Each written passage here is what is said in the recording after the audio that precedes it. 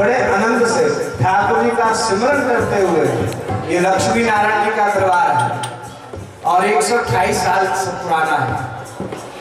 अगर एक मान लो नब्बे साल की आयु हो तो दूसरी किसी पीढ़ी का जो चलन चलता है। और ठाकुर जी हमारे वैसे सुंदर हैं।